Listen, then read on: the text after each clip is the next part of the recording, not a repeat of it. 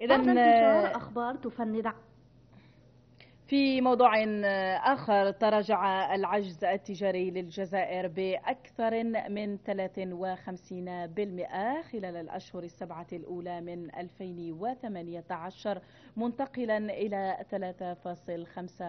3.25 مليار دولار في نفس الفترة من 2017 حسب ما علمت وكالة وكالة الوكالة لدى الجمارك. وارتفعت الصادرات ما بين شهري جونفي وجويليا 2018 إلى 23.65 مليار دولار مقابل 20.20 خلال نفس الفترة من 2017 فيما تراجعت الواردات بشكل طفيف إلى 26.90 مليار دولار مقابل 27.19 مليار دولار خلال فترتي المقارنة حسب معطيات المركز الوطني للإرسال ونظام المعلومات التابع للجمارك.